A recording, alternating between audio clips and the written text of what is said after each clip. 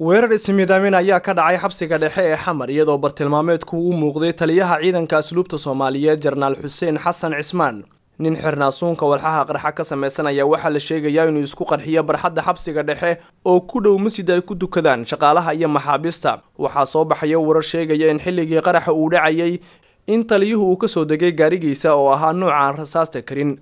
Askari ka tirsan ilaalada taliyaha ayaa waxaa la tilmaamay inuu iskooristaag ku sameeya ninka isku soo xidho waxyaabaha qarxa oo sida la sheegayo doonaya inuu gudaha u galo masjidka. Waxaa la xaqiijiyay in weerarkaas ismiidaaminta ah laba qof ay ku dhinteen oo mid uu yahay askari ilaalo u ahaa taliyaha ciidanka asluubta iyadoo midka kalena uu yahay ninka isqarxiyey waxaa sidoo kale jira dhaawacyo intaasi ka badan oo uu ku jiro taliyaha ciidanka asluubta oo ilowareedyo ay u xaqiijiyeen saab t v in dhaawiciisa uu ahaa mid fudud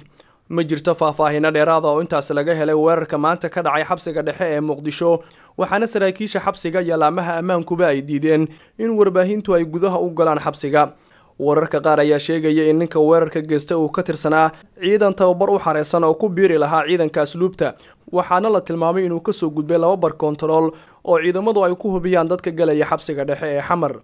dhinaca kale mas'uuliyadda weerarkaasi waxaa sheegtay xarakada al-shabaab waxaana warbaahinta ururka al-shabaab lagu qoray in faahfaahino dheeriya weerarkaasi ay ka bixin doonaan.